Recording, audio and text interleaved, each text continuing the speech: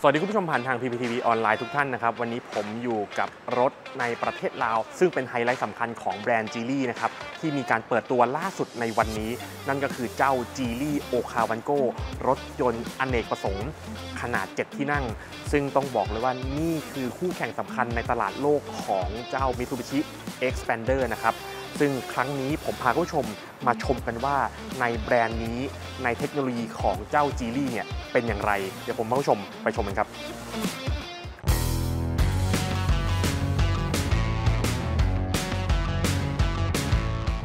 ดูทางด้านดีไซน์ครับคุณผู้ชม ข้างหน้าเนี่ยคุณผู้ชมจะเห็นว่าจริง ๆ แล้วในความรู้สึกของผมเนี่ยมันเหมือนกับ Kia Carnival นะครับรวมๆกับในเรื่องของตัว วอลโวนิดๆนะครับ มีเอกลักษณ์อันโดดเด่น มีเส้นสายนะ แล้วก็มีในเรื่องของเทคโนโลยี ไฟหน้าแบบ Adaptive LED แล้วก็ในมีในเรื่องของตัวไฟ Daytime Running Light นะครับ มีกล้องนะครับ กล้องหน้ารถที่อยู่บริเวณโลโก้ทางด้านหน้านะ แล้วก็ในเรื่องของการออกแบบต่างๆ เนี่ย ผมว่านี่คือรถที่มีความน่าสนใจ ถ้าคันนี้ไปอยู่ในประเทศไทย ผมว่าน่าจะมีความโดดเด่นอยู่บนท้องถนนไม่น้อยครับ มาดูดีไซน์ด้านข้างของเจ้า g ี l ีโอคาวันโกคันนี้นะครับ ข้างๆเนี่ยจะเห็นว่ารถคันนี้เนี่ยมีขนาดใหญ่และมีความยาว ถ้าเมื่อเปรียบเทียบกับคู่แข่งของเขาอย่าง Mitsubishi Xpander เนี่ยจะมีความยาวมากกว่าในสายตาของผมนะครับ แล้วก็ที่สำคัญนะครับ คันนี้เนี่ยมาพร้อมกับล้ออลลอยขนาด 18 นิ้วนะ แล้วก็มีในเรื่องของยางซีรีส์ 255 55 แล้วก็ในเรื่องของการดีไซน์โดยรวมต่างๆนะครับ คันนี้มาพร้อมกับในเรื่องของแหลกหลังคานะครับสามารถติดตั้งอุปกรณ์การใช้งานต่างๆ แล้วก็ในเรื่องของตัวความสูงจากพื้นถึงตัวรถเนี่ยก็ค่อนข้างใช้งานได้แบบอเนกประสงค์ขึ้นลงได้อย่างสะดวกนะครับ แล้วก็ในเรื่องของการดีไซน์ต่างๆ ไม่ว่าจะเป็นกระจกต่างๆนะครับ มองแล้วดูมีความทัศนวิสัยที่ดี แล้วก็มีความมองเห็นได้อย่างชัดเจน ไปดูด้านหลังครับ สำหรับดีไซน์ทางด้านหลังครับคุณผู้ชม คุณผู้ชมจะเห็นถึงความเรียบหรูดูดีของแบรนด์จีลี่ที่นำเอาความเป็นเอกลักษณ์ต่างๆนะครับมาใส่ไว้ ผมชอบอย่างหนึ่งก็คือเจ้าตัวตรงกลางเนี่ยนะครับเป็นในเรื่องของโครเมียมที่มีความโดดเด่นนะตัดกับสีของเขาเนี่ยแล้วก็ดูแล้วมีความโดดเด่นขึ้นมานะครับในเรื่องของตัวเส้นสายรายละเอียดนะครับคันนี้เนี่ยดูมีความโค้งมนนะครับแล้วก็ดูมีความแบบอวบ นะครับดูมีความใหญ่นะครับแล้วก็มองจากด้านหลังเนี่ยผมรู้สึกว่านี่คือความกว้างของห้องโดยสารที่ดูแล้วมีความใหญ่โตอลังการคันนี้นะครับยังมาพร้อมกับเสาอากาศครีบฉลาม ไฟเบรกดวงที่ 3 แล้วก็ใบปัดน้ำฝนนะครับแล้วก็ที่สำคัญนะครับคันนี้มาพร้อมกับตัวฝาท้ายเปิดแบบไฟฟ้าทำให้การใช้งานในเรื่องของการบรรทุกสัมภาระต่างๆ ใช้งานได้อย่างง่ายยิ่งขึ้นครับำหรับความอเนกประสงค์นะครับภายในห้องโดยสารคันนี้เนี่ยทางด้านหลังนะครับผมบอกว่านี่คือการใช้วัสดุที่ดูแล้วน่าสนใจมากๆนะ เพราะว่าในเรื่องของเราจับไปเนี่ยเราจะรู้สึกถึงความพรีเมียมนะมีความวัสดุบุนุ่มนะครับเบาะหนังเนี่ยใช้ในเรื่องของเส้นได้ายสีเทานะ แล้วก็มีในเรื่องของระบบระบายความร้อนที่แผงของตัวเบาะแน่นอนนะ เข้ามานะครับผมจะบอกคุณผู้ชมว่านี่คือความสบายนะ ถ้าดูขนาดอย่างที่เราบอกนะว่า มีความใหญ่นะครับ ใหญ่โตเนี่ยผมเนี่ยสูง 185 นะ เข้ามานั่งแล้วก็ไม่รู้สึกอึดอัด ตัวนี้นะครับยังมาพร้อมกับในเรื่องของแอร์ดิจิตอลทางด้านหลังนะ แบบในเรื่องของตัวที่เป็นปุ่มปรับต่างๆเนี่ยเป็น touchscreen หมดนะแล้วก็มี 2 ส่วนนะครับ ซ้ายขวาแยกออกจากกัน ทางด้านบนนะครับ เป็นหลังคา panoramic sunroofเปิดได้อย่างเต็มบานนะ แล้วก็ในเรื่องของวัสดุต่างๆนะครับ เข้ามาเนี่ยผมลองจับดูลองใช้งานดูนะ ผมว่าอืมน่าสนใจไม่น้อยนะ ถ้าไปอยู่ในตลาดประเทศไทยนะ ผมว่าคันนี้เนี่ยน่าจะเป็นการตอบรับที่ดีจากผู้บริโภคอย่างแน่นอน เดี๋ยวผมพาคุณผู้ชมไปชมทางด้านหน้ากันต่อครับ เข้ามาในห้องโดยสารนะครับ ในตำแหน่งผู้ขับขี่เนี่ยผมต้องบอกว่าโอ้โห รู้สึกอยากจะขับแล้วครับคุณผู้ชม เพราะว่าในเรื่องของการดีไซน์ต่างๆ ใน cockpit ที่ผมนั่งอยู่ตรงนี้นะ ความสวยงาม ความโดดเด่น แล้วก็วัสดุที่ผมจับอยู่บนพวงมาลัยเนี่ยกระชับมือนะครับคันนี้มีอะไรบ้าง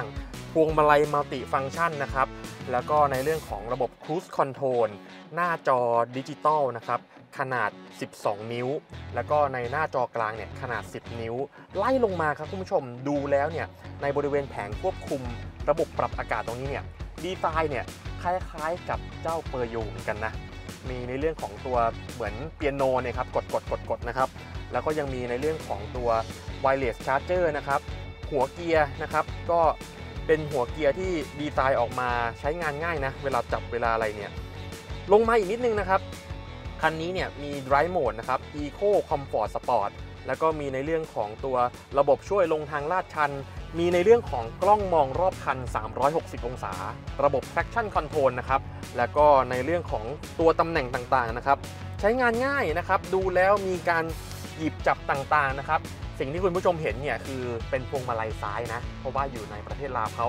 ขับพวงมาลัยซ้ายชิดขวานะครับ ไม่เหมือนในประเทศไทยนะครับ ก็ถือว่าดูดีไซน์สวยงามดีนะครับ แล้วเดี๋ยวผมพาคุณผู้ชมไปชมในเรื่องของการขับขี่กันครับ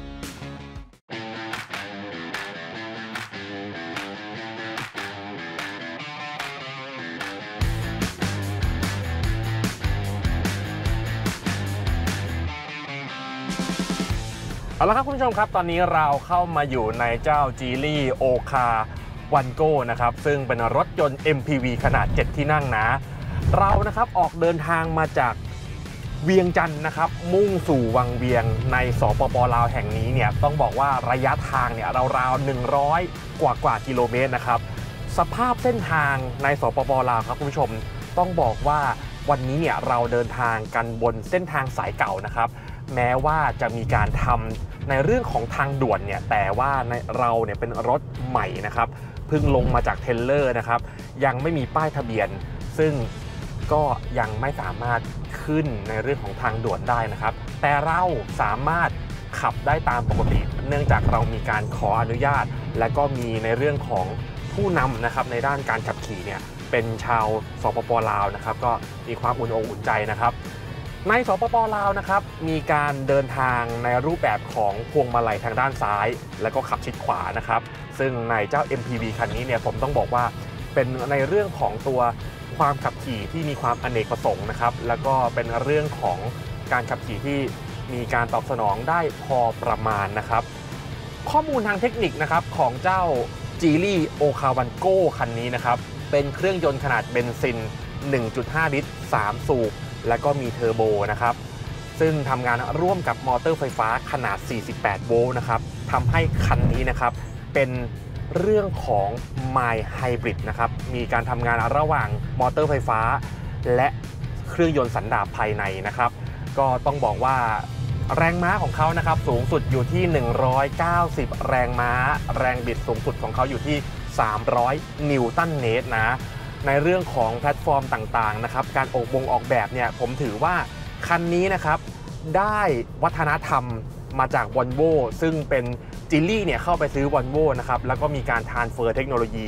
มากพอสมควรนะทำให้ในเรื่องของตัวการออกแบบดีไซน์ ในเรื่องของเทคโนโลยี ระบบความปลอดภัยต่างๆเนี่ยก็ถือว่าใส่เข้ามาในเจ้ารถ MPV คันนี้พอสมควรเลยทีเดียวนะครับ และนอกจากนั้นเองนะครับ วันนี้เนี่ยผมมีผู้ร่วมเดินทางอีกหนึ่งคนนะครับ หน้าตาคุ้นเคยกันเป็นอย่างดี นั่นก็คือพีเตอร์นิธิท้วมปฐมจาก Autolife Thailand TV ครับ สวัสดีครับแฟนๆครับ ผมแอบมานั่งหลังครับผมพีเตอร์เป็นไงบ้างครับ นั่งข้างหลัง ง่วง แปลว่านุ่มสบายเบาะนั่งดีครับเบาะดีเบาะดีอ่า คือเป็นเบาะที่ถ้าดูจากประสบการณ์ของเราที่เรานั่งรถในกลุ่มนี้ที่ไทยนะครับ พวก Expander พวก Ertiga อะไรเนี่ยผมว่าตัวเนี้ยเบาะนั่งดีที่สุดเลย อืม นะครับรวมถึงช่วงล่างก็ไม่ได้สะเทือนมากมายนะแต่ก็มีดีดๆหน่อยเวลาเจอหลุมหนัก อืมๆนะครับก่อนกว้างขวางดีอะชอบ ก่อนที่พีเตอร์จะไปนั่งข้างหลังได้มีโอกาสลองขับมาแล้ว ชอบไหมพี่ คันนี้ ผมว่าโอเคนะเครื่องยนต์ตอบสนองได้ดีระดับหนึ่งเลยนะครับถึงแม้ว่าจะไม่ได้เป็นไฮบริดแท้จริงอะไรอย่างเงี้ยนะ เป็นไมล์ไฮบริดก็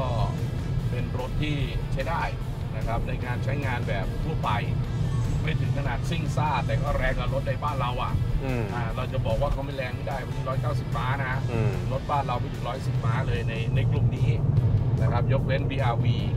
เนาะก็ก็ใช้ได้นะชกลมชกล่าง ก็ดีแต่ว่าพวงมาลัยเซ็ตมาเป็น แบบรถบ้านความหนืดของพวงมาลัย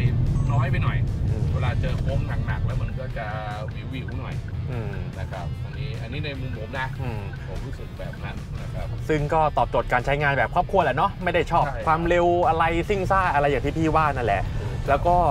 วันนี้เราถือว่าจีลี่เนี่ยเป็นแบรนด์จีนใช่ไหม ครับ สมมุติว่าสมมุตินะ ถ้าเข้าไปทำตลาดในประเทศไทยแน่นอนแหละเขาก็ยังไม่รู้วันนี้เรายังไม่รู้ว่าเขาจะเป็นแบรนด์ไหน หรือว่าจะเอารุ่นไหนไปทำตลาดใช่ไหมพี่อ่าฮะแต่ว่าถ้าสมมุติว่าเราไปเทียบกับคู่แข่งในตลาดของเจ้าโอคาวันโตในไทยเนี่ยพี่ว่าโอกาสมันเป็นไงพี่ถ้าถ้าสมมุติเอาตัวนี้ไปไปไปขายนะอืมเอาว่าในราคาเบียดอยู่กับ Expander Cross เพราะว่าในนี้โอคาวันโก้ขายอยู่ล้านนิดอืมๆนะครับ Expander Cross Expander หรืออยู่9 0 0 0 0กว่า9 0 0 0กลาง ก็ตัวนี้แพงกว่า แต่ถ้าไปบ้านเราอาจจะถูกกว่าก็เป็นไปได้อืมนะครับแต่ถ้าอยู่ในเรนจ์เดียวกันผมว่าสู้ได้นะ อืม คือวัสดุอุปกรณ์สู้ได้เลยอืม นะครับแต่เรื่องการเก็บเสียงเสียงสะเทือนภายในเสียงอะไรต่ออะไรเดี๋ยวผมว่า Expander ดีกว่าอืมนะครับพิสู Expander ดีกว่า อืม เวลอสได้เปรียบในเรื่องของความปลอดภัยไฮเทคที่ดีมาก อืม ๆ นะครับ แต่เวลอสขับสู้ตัวนี้ไม่ได้ ความสบาย ของเบาะสู้ตัวนี้ไม่ได้เลยอืมนะครับก็ต้องว่ากันไปว่าเราจะเลือกอะไรอืมนะครับถ้าเลือกนั่งเลือกความสบายเลือกเขาเรียกอัตประโยชน์ภายในรถนะผมว่าเจ้า Geely ตัวเนี้ย Okavango ตัวเนี้ยได้ผ่านผ่านน่าน่าสนใจว่า Geely จะเริ่มไปทำตลาดบ้านเราเมื่อไหร่อืมแต่เชื่อว่าถ้าทำตลาดแล้ว Okavango น่าจะเจอตัวใหม่แล้วล่ะ ไม่น่าจะเป็นโมเดลนี้นะนะครับ ก็ถือว่า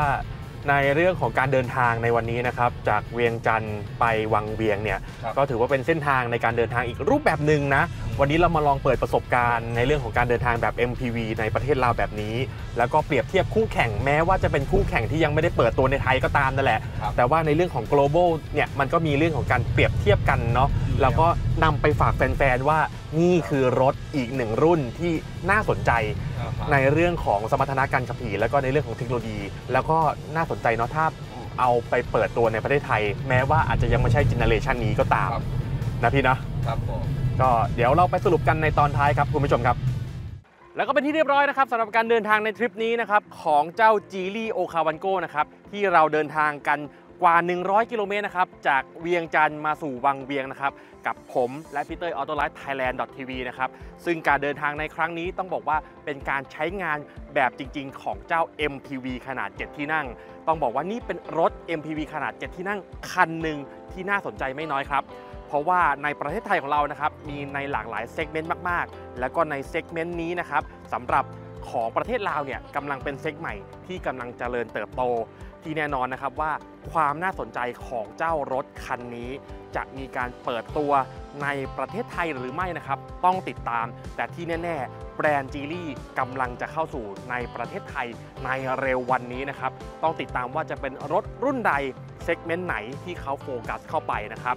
สำหรับสิ่งที่ผมชอบในเจ้า Geely Okavango คันนี้นะครับต้องบอกเลยว่าเป็นรถครอบครัวขนาด 7 ที่นั่งที่นั่งสบายมากๆนะครับในทุกแถวตำแหน่งที่นั่งนะครับยกเว้นแถวเดียวที่ผมไม่ได้ไปลอง นั่นก็คือเจ้าแถว 3แถวสุดท้ายที่เราพับเก็บไว้สำหรับบรรทุกสัมภาระ 4 ท่าน ตลอดการเดินทางในทริปนี้นะครับ